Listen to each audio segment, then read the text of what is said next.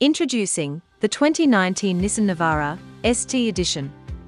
The Navara is a four-wheel drive, four-door dual-cab ute with five seats, powered by a 2.3-litre turbo diesel engine that has 140 kilowatts of power and 450 newton meters of torque via a six-speed manual transmission.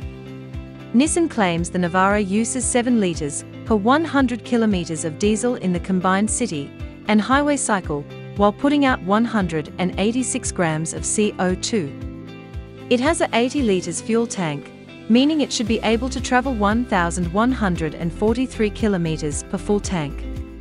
It requires a service every 12 months, or 20,000 kilometers, whichever comes first.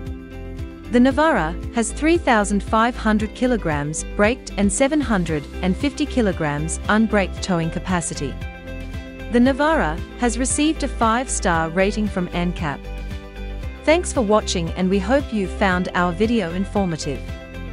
We offer same-day finance approval and extended warranty options. We also offer contactless purchasing. We provide Australia-wide delivery too. If you have any inquiry, please do give us a call and one of our representatives will be able to assist you. We look forward to hear from you soon. The information in this video is considered to be true and correct at the date of publication.